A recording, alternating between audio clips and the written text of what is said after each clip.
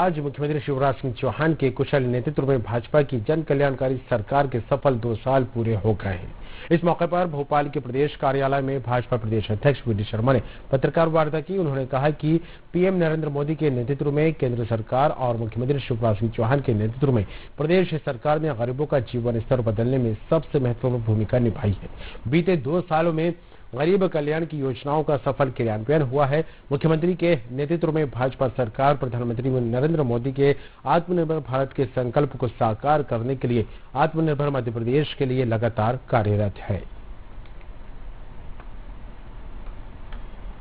जनता party की सरकार और संगठन ने जिस प्रकार से भूमिका निभाई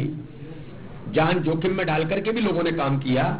तो गरीब कल्याण की योजनाओं को ज़मीन पर उतारने में कि कोई भूखा नहीं सोएगा तो गरीब अन्न कल्याण योजना में माननीय प्रधानमंत्री या माननीय मुख्यमंत्री तो लगातार मध्य प्रदेश के अंदर हम आज से नहीं, कब से इस बात को करते चले आए हैं? तो कैसे उसकी भूमिका निभाना? हर गरीब के जीवन के अंदर संवेदनशीलता के साथ सरकार कैसे भूमिका निभा रही है, उसको नीचे कैसे उतारना, ये सफलतम प्रयोग मध्य प्रदेश के अंदर भारतीय जनता पार्टी और सरकार ने जो मिलकर के किया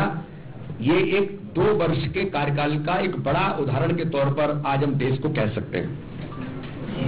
इसलिए मैं कहता हूँ कि आज हमारे बड़े हर्ष का विषय है कि हमारे लोकप्रिय मुख्यमंत्री माननीय शिवराज सिंह चौहान के नेतृत्व वाली भारतीय जनता पार्टी की सरकार के चौथे कार्यकाल के दो वर्ष पूरे हुए हैं।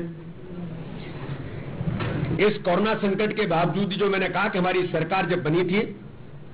और उसके बावजूद इतने अवरोध, इतने कई प्रकार के अवरोध आने के बावजूद भी सरकार ने महत्वपूर्ण भूमिका निभाई। और आज मुझे इस बात की खुशी है कि माननीय मुख्यमंत्री जी के नेतृत्व में भारतीय जनता पार्टी की संविधानों से बनी हुई सरकार आज लगातार अनवरत जनता के कल्याण के लिए काम करती चली जा रही है। मीडिया से चर्चा करते हुए गृह मंत्री डॉक्टर अमित शाह ने कहा कि मध्य प्रदेश का एक व्यक्ति ऐलान करके जम्मू कश्मीर जाए और बिना